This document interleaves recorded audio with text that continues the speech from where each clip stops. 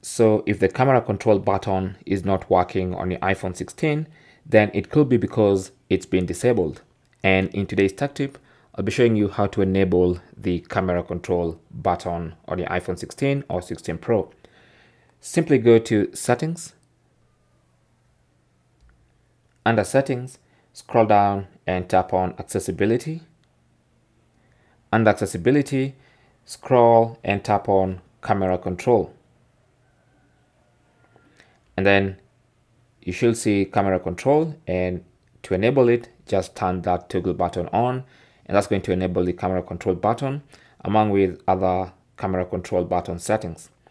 So now you should be able to press on the camera control button to launch the camera and then half press it to do other things.